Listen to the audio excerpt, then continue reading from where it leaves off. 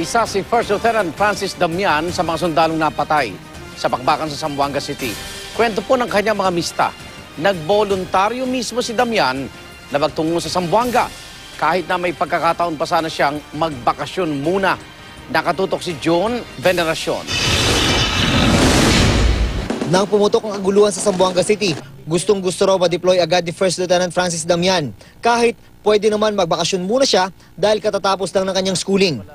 Nakuha niya ang kanyang hiling at na-deploy nga sa Zamboanga biyernes ng nakarang linggo. even told him na, Brad, kako, mag-ingat ka.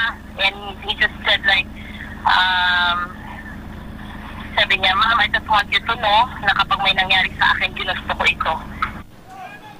Kahapon, tinamaan si Damian sa labanan at kaninang umaga ay binawian ng buhay sa ospital. Naiwan niya ang asawa at isang anak.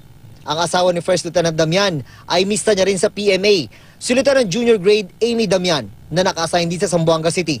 Sabi ng kanilang mga klase, parang namatayan ka na rin ng kapatid kapag ang mista ang nawala. Paano pa kaya kung ang mista ay asawa mo rin? masakit para sa kanya, para kay ano, kay Amy. Amy yung yung name ng wife niya. But uh, rest assured naman na ano, na we'll will be there. The whole class will be there and uh, we'll su- we'll continue to support each other.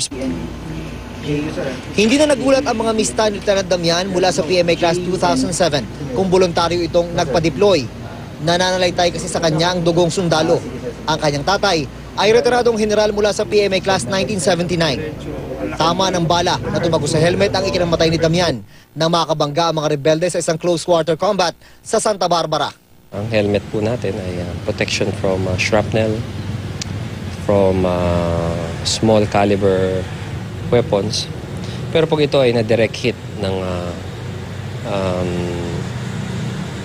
large caliber weapons like 5.56, 7.62, um, ito po rin ay uh, natatamaan, na nape-penetrate. No? Ah, katulad nangyari dito kay Lieutenant Damian, Si Lieutenant Damian ay ang pangatlong opisyal ng militar na nasawi sa mahigit kalahating buwan na bakbakan. Mula sa Buanga City, June Veneracion, nakatutok 24 oras.